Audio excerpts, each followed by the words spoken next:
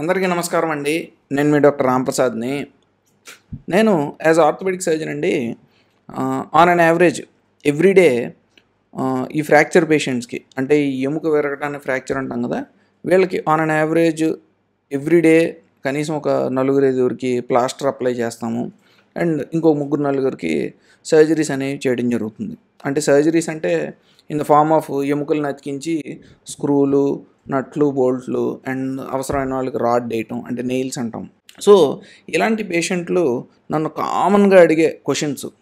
ఏంటి అంటే ఎముక్ ఎముక కనుక విరిగితే ఎంతకాలం పడుతుందండి మళ్ళీ అతుక్కోవటానికి అండ్ ఈ సర్జరీస్ చేయటం వల్ల మామూలు ప్లాస్టర్ కన్నా స్పీడ్గా అతుక్కుంటాయా? ఇలాంటి చాలా డౌట్స్ ఉంటాయి వీళ్ళందరికీ. సో ఇవాళ యూట్యూబ్ వీడియోలో నేను ఇలాంటి డౌట్స్ అన్నిటికీ క్వశ్చన్స్ అన్నిటికీ కూడా ఆన్సర్స్ చెప్తాను. అండ్ కొత్త వాళ్ళు ఎవరిని ఉంటే please subscribe to our channel and without any delay let's go into the main topic అండి.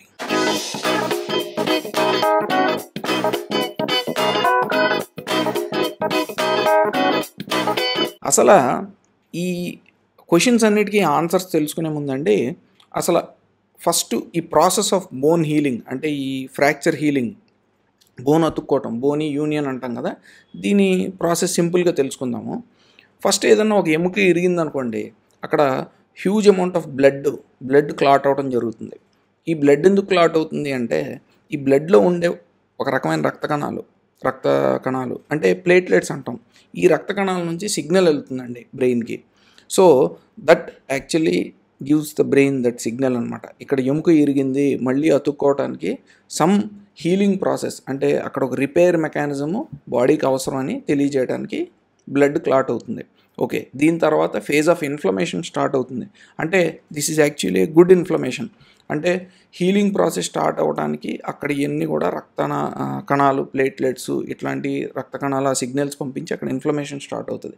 స్లోగా ఈ ఇన్ఫ్లమేషన్ ఏంటంటే ఒక రకమైన బేబీ బోన్ అంటే ఒక సాఫ్ట్ క్యాలస్ అంటాం. అంటే కార్ట్లేజ్లో ఉంటుంది. మెత్తగా స్లోగా ఇది స్టార్ట్ అవుతుంది. ఒక టూ వీక్స్లో దీని తర్వాత ఈ సాఫ్ట్ క్యాలస్ అనేది హార్డ్ క్యాలస్ కింద అవుతుంది. అంటే ఇంకొంచెం next level of hard bone కింద ఫామ్ అవుతుంది. ఈ హార్డ్ బోన్ అనేది నార్మల్ బోన్లా ఉండదండి. ఎక్స్రేలో చూస్తే కనుక కన్నా అలా సాలిడ్గా ఆ ఎముకకి ఇటుపక్క ఇటుపక్క ఉబ్బెత్తుగా క్యాలస్ అనేది కనిపిస్తుంది.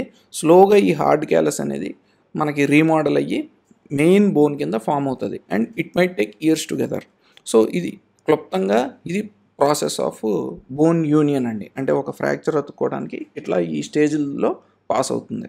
సో ఇప్పుడు వచ్చే ప్రశ్న డాక్టర్ గారు మీరు సర్జరీస్ అడ్వైస్ చేస్తారు కదా పేషెంట్స్కి సో సర్జరీస్ చేస్తే ఇలా ఫ్రాక్చర్ పేషెంట్లకి త్వరగా ఎముక అతుక్కుంటుందా లేదా? దానికి నా ఆన్సర్ అండి. ఓకే మనం ఏంటంటే జనరల్ రూలు అంటే ఎక్సెప్షన్స్ ఉంటాయి.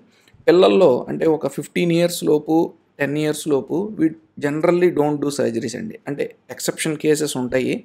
అండ్ కొన్ని కొన్ని ఫ్రాక్చర్ ప్యాటర్న్స్లో మనం సర్జరీ కూడా చేయాల్సిన అవసరం అవుతుంది జనరల్లీ వాళ్ళు మనం ప్లాస్టర్ అప్లై చేస్తాము. అదే మనం అడల్ట్స్లో అంటే జనరల్గా ఒక ఫిఫ్టీన్ ఇయర్స్ ఎయిటీన్ ఇయర్స్ దాటిన వాళ్ళు వాళ్ళని అడల్ట్స్ కింద కన్సిడర్ చేస్తాము.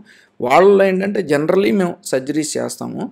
అండ్ ప్లాస్టర్ అప్లికేషన్ అనేది అవాయిడ్ చేస్తాం. ఎందుకు అని అంటే ఈ ప్లాస్టర్ అప్లికేషన్ వల్ల మనకి పేషెంట్ యొక్క అంటే వాళ్ళ రొటీన్ యాక్టివిటీస్ చేసుకోవడానికి వీలుగా ఉండదు. అండ్ వాళ్ళ అంటే త్వరగా కోలుకోవడానికి మనకి ఆస్కారం ఉండదు. అండ్ ఆ ప్రాసెస్ ఆఫ్ రికవరీ అనేది చాలా లేట్ అయిపోతూ ఉంటుంది. సో అల్టిమేట్గా ఏంటంటే ప్లాస్టర్ అప్లై చేసినా మనకి సర్జరీ చేసిన అంటే ఈ సర్జరీ అంటే in the form of implants అంటే ఎముకని ఎముకని కూర్చోబెట్టి ప్లేట్ కానీ స్క్రూలు రాడ్లు వేసినా సరే ఈ ప్లాస్టర్ అప్లై చేసిన సర్జరీ చేసిన ప్రాసెస్ ఆఫ్ హీలింగ్ అనేది సేమ్ అండి.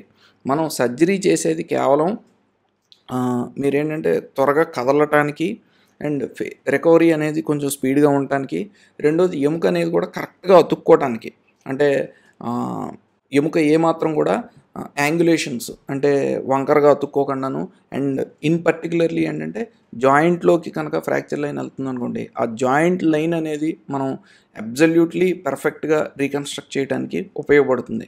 అంతేగాని time of union time for union అంటే ఈ ప్లాస్టర్ అప్లై చేసినా అంతే టైం పడుతుందండి సర్జరీ చేసినా అంతే టైం పడుతుంది.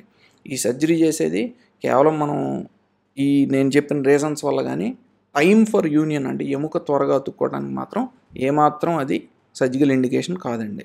ఇంకా నన్ను అడిగే సెకండ్ కామన్ క్వశ్చన్ ఈ విరిగిన ఎముక అతుక్కోవడానికి ఎంత సమయం పడుతుంది? దీనికి నా సమాధానం అండి నేను ఒక జనరల్ రూల్ చెప్తాను but they are always exceptions to it. ఒక సింపుల్ అండ్ స్టేబుల్ ఫ్రాక్చర్స్ అనుకోండి అవి జనరల్లీ మనకి ఏంటంటే సిక్స్ వీక్స్ నుంచి ఎయిట్ వీక్స్లో హీల్ అయిపోతాయి. స్లోగా దీని తర్వాత ఫిజియో స్టార్ట్ చేసుకుని మన రొటీన్లోకి మనం వెళ్ళిపోగలం. అలాగా కాకుండా కొన్ని కాంప్లెక్స్ ఫ్రాక్చర్స్ ఉంటాయి. అంటే ఒక ఎముక రెండు ముక్కల కింద కాకుండా ఒక నాలుగైదు ముక్కలు అంటే ఒక బంచ్ ఆఫ్ బోన్స్ కింద విరిగిపోయి చాలా కాంప్లెక్స్గా ఇరిగిపోయి లేదంటే బాగా అన్స్టేబుల్గా ఫ్రాక్చర్ అంటే కదలిక అనేది ఎక్కువ ఉంటుంది బోన్లో అని అనుకుంటే అలాంటి ఫ్రాక్చర్స్ ఏంటంటే కొంచెం ట్వెల్వ్ వీక్స్ పడతాయండి. అంటే సో సింపుల్ ఫ్రాక్చర్ మనకి సిక్స్ వీక్స్లో పడితే దీనికి డబల్ టైం పడుతుందండి. సో ట్వెల్వ్ వీక్స్ వరకు పట్టే అవకాశం ఉంటుంది. ఇది ఒక జనరల్ టైమింగ్ అండి. But they are exceptions to it. అంటే మీరు ఒక డయాబెటీస్తో బాధపడుతున్నా అంటే షుగర్ ఉన్నా లేదంటే మీకు స్మోకింగ్ ఆల్కహాలిజం ఇలాంటి అలవాట్లు ఏమైనా ఉన్నా ఈ బోన్ హీలింగ్ అంటే ఫ్రాక్చర్ హీలింగ్ అనేది లేట్ అయ్యే అవకాశం హండ్రెడ్ పర్సెంట్ ఉంటుంది. మనం ఏంటంటే వాళ్ళలో కొంచెం ప్రోటోకాల్స్ అనేవి కొంచెం స్లో డౌన్ చేస్తాం. సో వాళ్ళ ఫ్రాక్చర్ హీలింగ్ అనేది స్లోగా ఉంటుంది అంటే మనం ముందర ప్రెడిక్ట్ చేయడం వల్ల కొన్ని మెడిసిన్స్ వాడటం వల్ల దాన్ని కూడా స్పీడ్ చేసే అవకాశం ఉంటుంది. సో ఐ హోప్ ఈ వీడియోలో ఏంటంటే ఈ ఫ్రాక్చర్ హీలింగ్ అంటే ఎముక విరిగిన ఎముక అతుక్కోవటానికి ఏ విధంగా జరుగుతుంది అండ్ జనరల్ క్వశ్చన్స్కి సమాధానాలు దొరుకుంటాయని. And thank you for watching our video. And next వీడియోలో మరో మెడికల్ టాపిక్ పైన కలుద్దాము. అంటిల్ దెన్ బై మీ డాక్టర్ రాంప్రసాద్.